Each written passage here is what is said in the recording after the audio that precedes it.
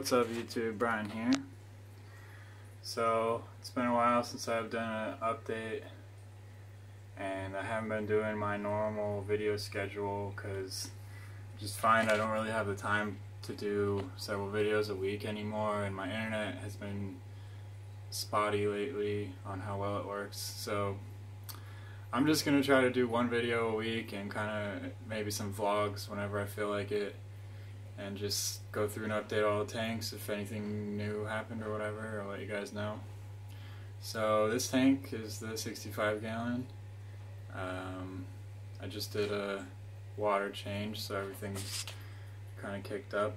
You can see the two earth eaters are you know, fighting to make sure they remember whose territory is whose since they just did the water change that is little D, that yellow discus in front. He's not so little anymore. And where's my other new guy? Other new guys over there underneath the wood. Koi cats are chilling in the corner. Basically, everything's the same in here. I do have one issue. I'm kind of worried about this cobalt guy right here. He's really thin and he's like the bottom of the pecking order as far as food goes.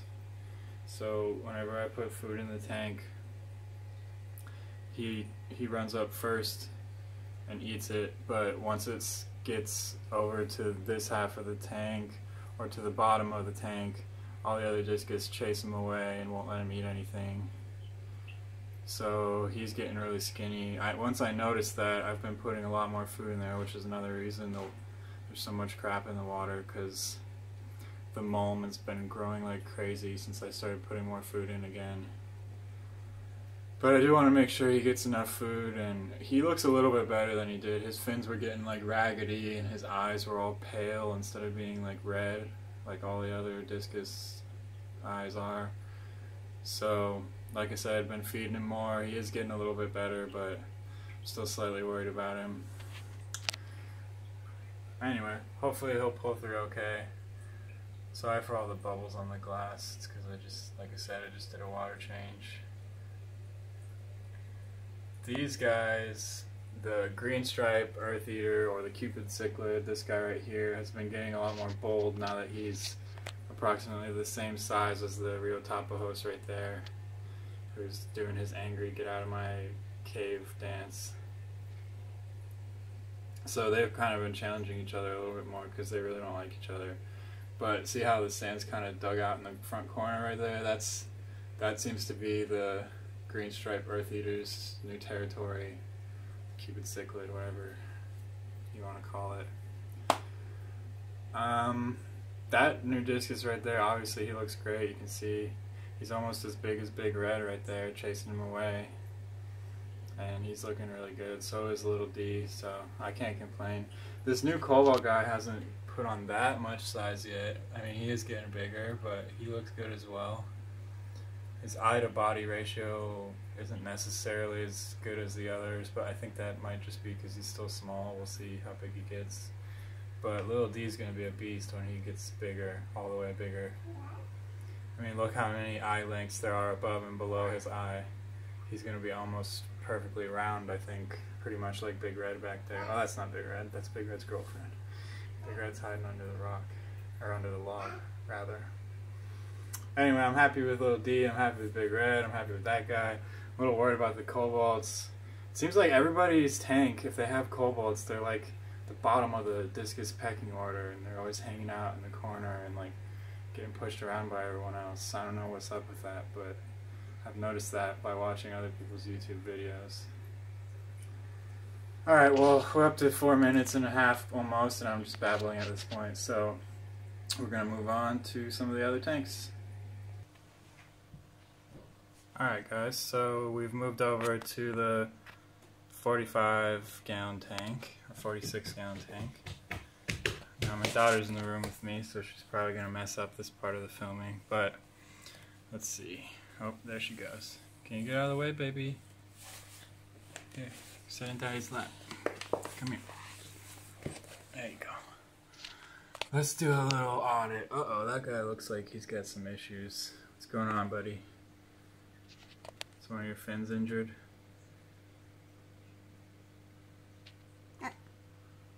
Yeah, that ain't good. Uh, looks like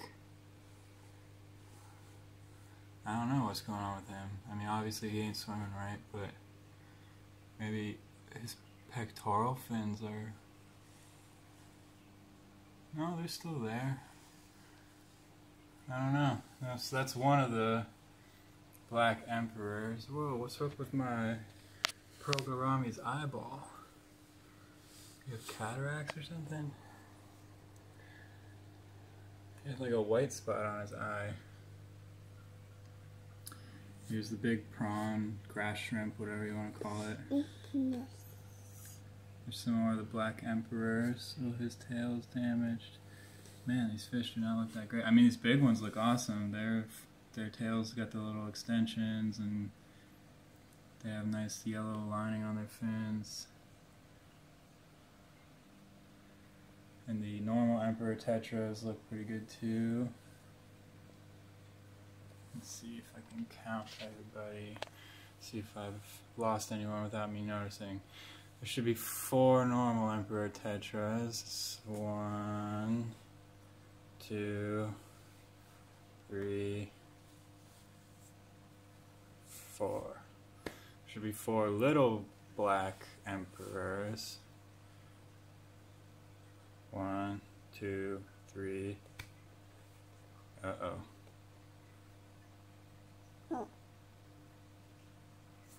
I think I lost one. And this one's swimming all crazy. He's probably gonna die too. Oh, here comes the cat. And then two of the big emperor, or black emperors, which is right. That's what I got. So I guess I'm down to five instead of six, like I originally had. Progarami's good.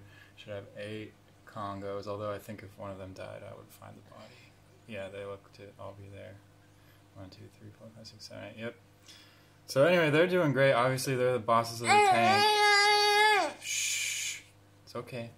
And they always run around like crazy when I have the bright light on, because they can see each other much better, and they uh, they fight for you know dominance or whatever. That's what they're doing right now. These emperors, some of their tails are messed up, but like I've said before, they've kind of been like that since I mm. got them. Yeah, look at, look at the Progarami's eye. Is that a disease? What is that? Why is it white like that? Do y'all see that?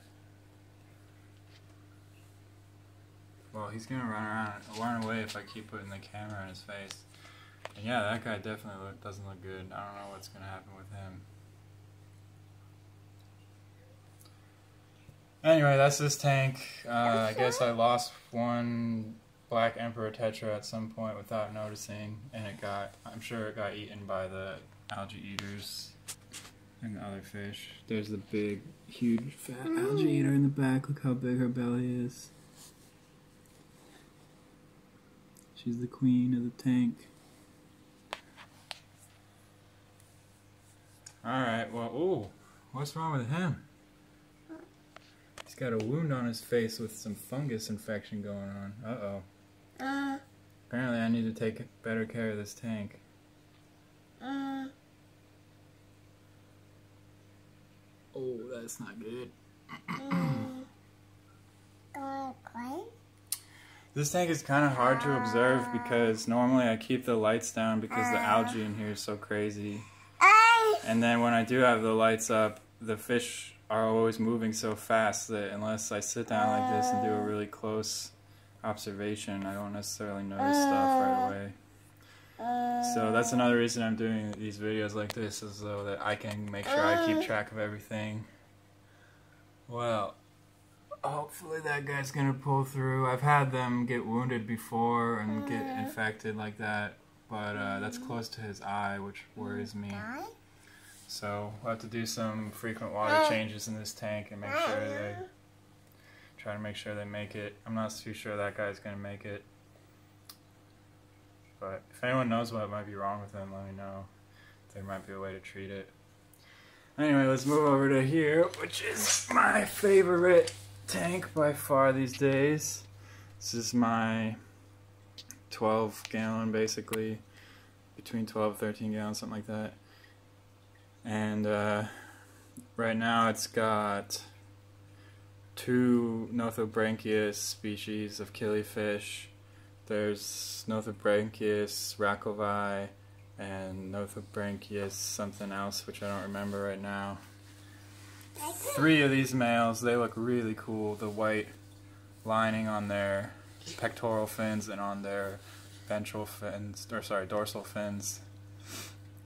They're coming. The more they're staying in my tank, I feed them better than they do in the shops. So they're coloring up pretty nicely since I've had them in here, and they're growing. And then they've got that white lining coming in. It looks really cool.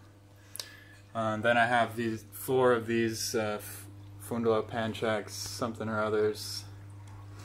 They're pretty chill. They're less aggressive than the other ones. So I put them, put four of them in. I originally had two. The one, the Rachovii killed the other male. He's down there. So I had two of them originally. He killed the other one. I decided to just keep one of him and get three of the other males because with three of them, the aggression is diffused between the three so that one of them doesn't get picked on the whole time until it dies. But I didn't figure that out until it was too late for the Rachovii. Uh, cardinals, I just put two new cardinals in here today because there were only four of them. They seem to be doing really well in here. I figured I might as well give them a full school. Uh, from what I understand, you can tell if your cardinals are happy if they kind of split up and spread around the tank a lot, and uh, if they're not constantly schooled together. Because if they're constantly schooled up, that means they feel threatened and stressed out. As you can see, they're you know they're all over the place. The ram, where is she? Oh, there she is. She's chilling by the tree. She'll chase around the killifish, but I think she's doing fine uh, as well. I mean, she's getting bigger, and she doesn't like to be on camera though. Anyway, I really like this tank because the, the killies are just super colorful, and you know, cardinals always pop in the light. And this is in my bedroom, so when I'm sitting in bed, I can look over and just see it's like little living rainbows flying around everywhere, which is really, really fun. I took the house out of the corner, as you've definitely noticed by now and just moved the tree into the middle so that the flow of the tank would be better because the flow is going this way. Before it was hitting that house right there and kind of like getting diffused. But the killifish really like the higher flow because they're stream fish. And when I feed them, I hold the food in front of this output right here, like a cube of brine shrimp, and it flies through the water like as if it were alive. And they go crazy and hunt it down and eat it and it's really cool. So maybe I'll do a video on that sometime if I can figure out how to film it and do it at the same time. But anyway, like I said, this is my favorite tank at the moment. Even the Anubias is growing really well. So, no, almost no algae, very low maintenance, awesome tank. Alright, let's go to the final tanks downstairs. Alright, y'all, here we are downstairs, looking at the guppy tanks. As you can see, there's my green dragon pleco. Uh, it's growing, eating algae, doing its job. There's the Molly. Probably haven't mentioned this in a while, but he's my oldest fish. And he's a tank man. He's been in a lot of different uh, aquariums and he's pretty much survived everything and he's awesome. There's a shrimp. I have like a bunch of shrimp in here now. Oh, and there is one of the other killifish I got. He's hunting Daphnia or scuds or whatever it is that lives in this tank. He just noticed the camera. I do not know the species of this. I think it's also in the genus Nothobranchius from the shape of the fins and the body but I'm not 100% sure because I haven't been able to find any pictures or anything online. There's two of them in here. I moved them in here because and they were up in the 12 gallon with the other killifish, but they were much smaller, and they were like really stressed out and getting bullied. So I moved them down here a while ago, and uh, I don't know where the other one is. I don't see it right now, but they're doing real good. Oh, there it is. Today I picked up that male guppy right there. I have never seen this morph before. Instead of half black like you would see on a tuxedo guppy or whatever, other half black strains, this is a half white pastel Dumbo ear, whatever you want to call it. So I thought that was really sweet. I'd never seen anything like that. Even online, I don't think I've ever seen a half white like that. So I got him. I don't know if I'll actually breed him or not, but he's not. I don't even think he's full grown because his his caudal fin isn't that big yet. And usually these these strains of guppy grow pretty huge caudal fins. There's my male red mosaic platinum Dumbo ear that I've had bred a while back. The other two male guppies who were in here past, I mean, I think I've said that in past updates. The bluegrass got ick a while back when I had ick, and he died from that. And then last week or the week before, my uh, half black purple that I had in here, just mixed strain guppy, he had been fighting with intestinal worms for a while. And I treated him a couple times, and I thought he had gotten over it, but then uh, a few days after the second treatment, he just started laying on the bottom of the tank, and he wouldn't move. And I don't know how old he was or whatever. I think it might have just stressed him out too much to go through the expelling the worms twice. So anyway, he passed as well, unfortunately. So now I just have these two males in here.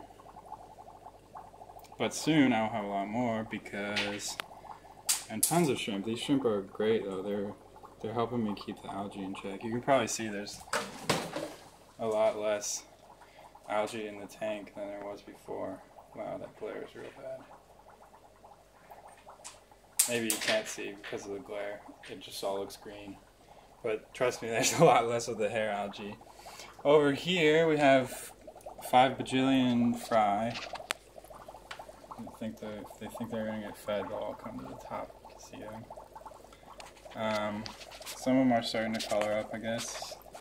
Not enough to decide whether they're keepers or not, or whether they're males or females yet. They don't have any gonopodiums forming yet, but they're growing pretty well.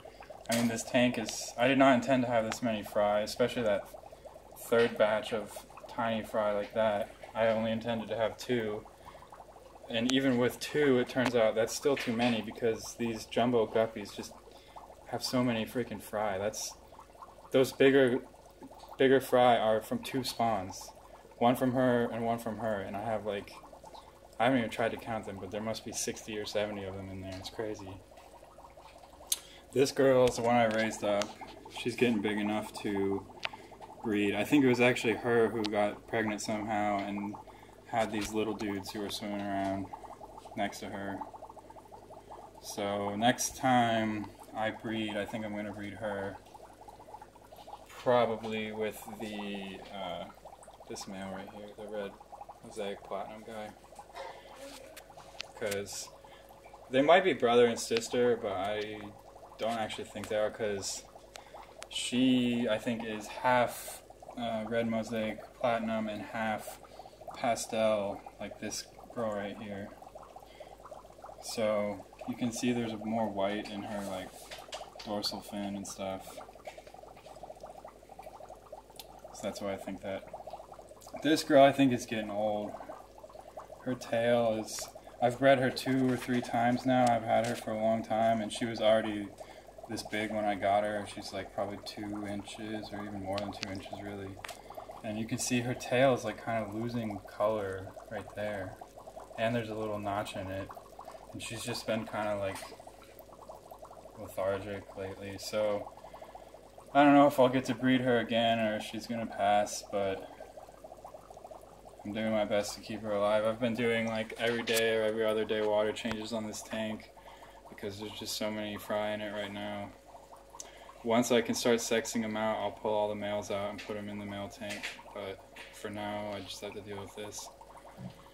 Last but not least is Junjin True Gold, my yellow gold apple snail. He is just chilling right now, obviously, but he is a big dude. wow, that's bad glare. Okay, let me see. What do I have to compare him to? Uh, uh, bottle of whiskey. So, yeah, he's big.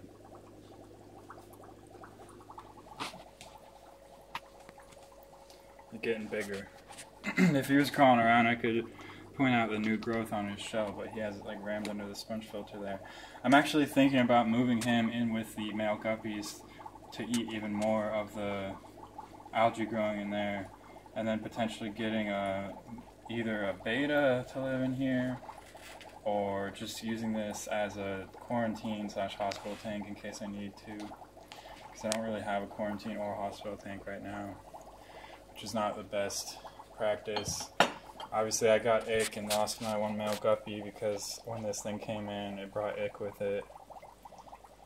And I just brought in this guy today, but I don't know. I mean, I think he's clean because that shop's generally good about quarantining fish, but he could potentially bring something into the tank, you know. But I have no no space to quarantine as it is set up right now, so hopefully I can get some something like that going on. I don't know. I'm still thinking about it, but if I do try, I'm just worried that he's gonna eat the snail is going to eat whatever these things are that I have floating. Because in the past he would climb up onto the floating plants I had and just eat all the anything that was alive or dead. He basically eats anything. I feed him bloodworms, brine shrimp, whatever leaves fall off the plants I throw in here, and whenever he can get them, get a hold of them and pin them down, he'll eat them. So he's pretty much my garbage disposal at this point. I think from now on, if I have dead fish, I'm just going to feed them to him too. Because that's what a lot of the shopkeepers here do. They have like a snail tank with uh, like Siamese algae eaters and other cyprinids in it, and then ram's horn and apple snails. And whenever they have a dead plant or a dead fish, they just throw it in that tank. And it's kind of like a garbage disposal tank. This green dragon's getting pretty big. He has this hole in his caudal fin. It's been there like since I got him. It's not getting any bigger or any smaller. I don't know if you can see that on camera, but he's he's growing for sure. Alright, we're at 23 minutes. That's too long for an update. Sorry guys, if anyone's still watching at this point, thanks a lot for watching. Um, like I said, I don't know if I'm going to be doing more fish music videos or whatever. I'll probably still make videos sometimes when I go to the market, but I'm planning on only really doing that if I buy something from one of the shops because, you know, it's just rude to go in someone's shop and record a video and never buy anything. So, we'll see about fish market videos and uh, they'll probably still be, you know, regu pretty regular because I always go there to buy food. And you'll get at least one weekly update. Get out of here, baby. So, that's that. Thanks for watching, guys. See you next time.